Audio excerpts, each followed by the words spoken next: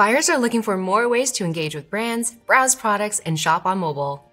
Our Shop app hosts over 1 million buyers and lets brands showcase their products, interact with their customers, and drive more sales.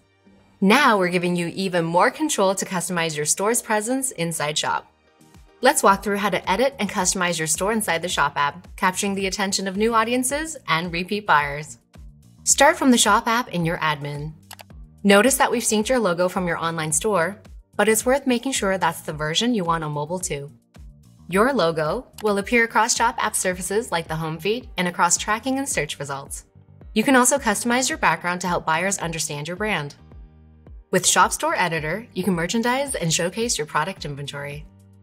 First, define product categories to help your buyers understand what your store has to offer. You can easily add, remove, and reorder categories.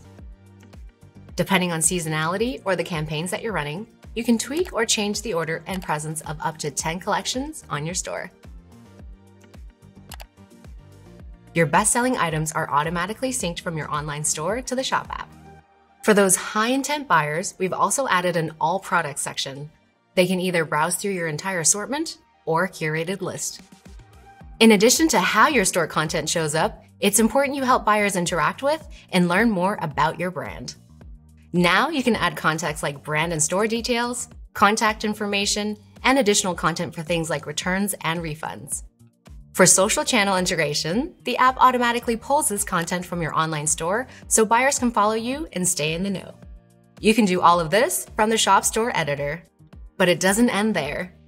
We've added new functionality to capture and integrate post purchase behavior like reviews in the Shop app.